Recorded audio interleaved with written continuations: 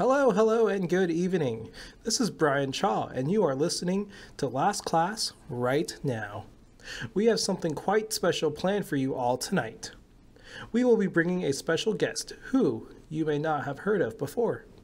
Our guest has a grand history being active in the fight for what is right.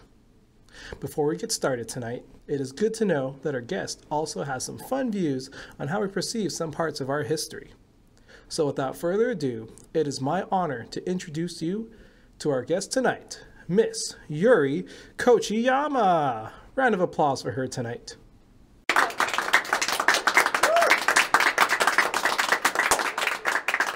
Hello, Brian. Thank you for having me on the show. I am very excited to be here tonight. Glad to have you, Miss Kochiyama. Now, please, would you like to tell us a little about yourself and some of the things that you have done to get your name known? I am not sure many of our listeners have heard your name before. You're an activist, correct? I lived in San Pedro, California, uh, which is, you know, on the uh, west side of California.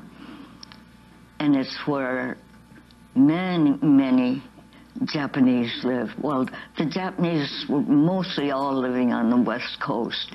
Uh, Washington, Oregon, California, and parts of Arizona. And that's uh, what they call what the number one war zone. But immediately, the newspaper headlines were "Get the Japs out," and uh, people like who's the guy, the general on the West Coast, the top one the top general, I can't think of his name. He said, the only good Jap is a dead Jap. And anyway, uh, not just the newspaper headlines, but there were signs all over, get the Japs out, get the Japs out. So, were you a teacher on that day Pearl Harbor was bombed? No, no, I had just finished junior college. No, I wasn't uh, teaching, but I was teaching Sunday school and I had I, I had been teaching about a year and a half. It was a place where I felt very comfortable. But that day when I went in, I could just feel something was different. And of course, it's because that's all people were thinking about is. Were you the only Japanese teacher there? Oh, yeah. Mm-hmm. It was really what you call a white church. Uh, so I took all the kids home as I usually do. Um, they they pack in the car, sit on top of each other, and I take about ten of the kids home. And then when I came home, I just made it home. I knew my father had come back from the hospital, so I came back early too. What a story, Yuri. Now, please tell me a little about yourself as an activist.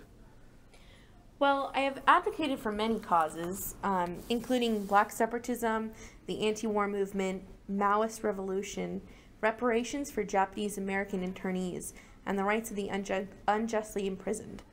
I certainly wasn't an activist when I was younger. After Pearl Harbor, I didn't much understand the politics of why these things happened. I moved to Harlem in 1960, and that was really my university without walls. No college in the U.S. could have taught me so pungently and effectively about realities in American life. I met Malcolm X on October 16, 1963, at a court- courthouse in Brooklyn after being arrested protesting for construction jobs. One of the greatest lessons Malcolm taught people was to learn their own history. Know your history, know the world, be proud of who you are. He would say, if you don't know who you are and where you come from, how can you know what direction to go in the future? Now, I have seen a picture where you were holding Malcolm X as he was shot. What was that experience like? As I recall that date, uh, February 21st, 1965, I was sitting in the same booth as Herman Ferguson, which was, I think, about the seventh or eighth row. I was with my 16 year old son, Billy, and I was taking notes of Brother Benjamin Karim's message. He had just finished saying, um, just before introducing Malcolm, Malcolm is the kind of man who would die for you. The distraction, a young man yelling, Get your hand out of my pocket, took place across from where we were sitting. All eyes were turned in that direction. Malcolm tried to calm the people, saying, Cool it, brothers, cool it. Then shots rang out from the front. Malcolm fell straight backwards, and it was right then all broke loose. Chairs crashing to the floor, people hitting the floor, people chasing the killers. A few more gunshots, and something like a smoke bomb was thrown. It was utter chaos. In her activism journey, Kochiyama also held some opinions that may not be eye to eye with everyday Americans. Kochiyama has been described as a woman of complicated political beliefs and at times contradictory views who managed to combine support for both racial integration and se- separation. Dylan Matthews, an American journalist and current correspondent for Vox, has described some of her work as clearly deeply admirable, but cautioned that she sometimes admired truly loathsome figures because she thought they were effective at combating American empire such as Mao Zedong and Ho Chi Minh. Interviewed in 2003, Kochiyama said, I consider Osama bin Laden as one of the people that I admire. To me, he is in the category of Malcolm X, Che Guevara, Patrice Lumumba, Fidel Castro, and I think Islam for bin Laden. America's greed, aggressiveness, and self righteous arrogance must be stopped. War and weaponry must be abolished. Definitely some interesting words from Yuri, but when you are passionate about, about following your path, nothing, including other people's opinions about you, matter at that point. Strong willed and a fiery voice of reason, Yuri Kochiyama has been an impact in our society. As we have seen, even as a youth, Yuri exhibited a certain boldness, asking to write for the community newspaper becoming the first female student body officer at her high school, and initiating a letter writing campaign to Nisei soldiers. Her actions became more remarkable when we consider the racial and gender constraints prevalent in 1930s America. Perhaps Yuri's parents' liberal child rearing practices or their economic status offset some of the limitations imposed on Nisei women of that time. Perhaps as one of the few Asians in a predominantly white neighborhood, Yuri had the self confidence that she could accomplish the same things as her white peers. While these might be contributing factors, they fail to fully explain the fearlessness Yuri displayed throughout her life. In her own words, the legacy I would like to leave is that people try to build bridges and not walls.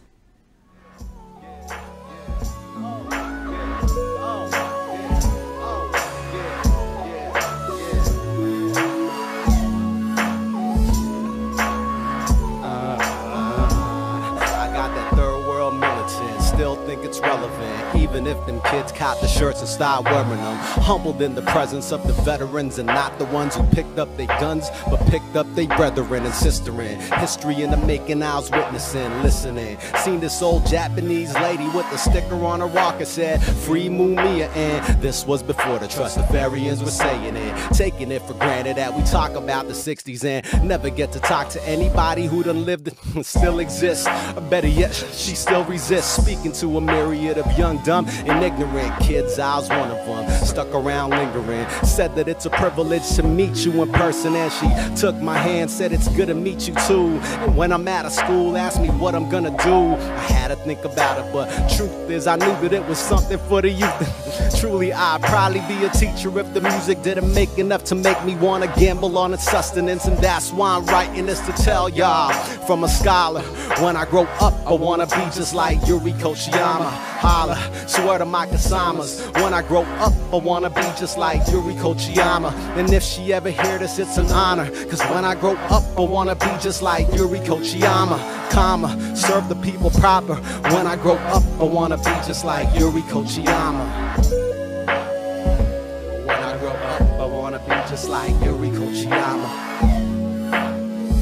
When I grow up, I wanna be just like Yuri Kochiyama. I seen the picture up in Life magazine. You were sitting in front seat from Malcolm's last speech. Saw the first man with the shotgun. Two more came to get the job done. Now who would have thought that it'd be you holding him? I wonder what you felt when his eyes were going dim. And if he never died, would he know that he Or would he been the leader that we always seem to miss? Now there's no turning back, whatever happens, and I miss. You remind me that it's more than just a martyr and a myth. You could have said it quits many times ever since, and you find there will always be a reason for the fist. The last one to hold them could have been somebody else. You still be remembered for the people that you helped. They said to keep trying, but never losing hope. Revolutionaries die, but the revolution don't, and it won't. And I put that on my mama, cause when I grow up, I wanna be just like Yuri Kochiyama. Holla, swear to my Kasamas. When I grow up, I wanna be just like Yuri Kochiyama. And if she ever hear this, it's an honor. When I grow up, I wanna be just like Yuri Kochiyama. Comma, serve the people proper. When I grow up, I wanna be just like Yuri Kochiyama. When I grow up, I wanna be just like Yuri Broke up but wanna be just like you, Yuri Kochiyama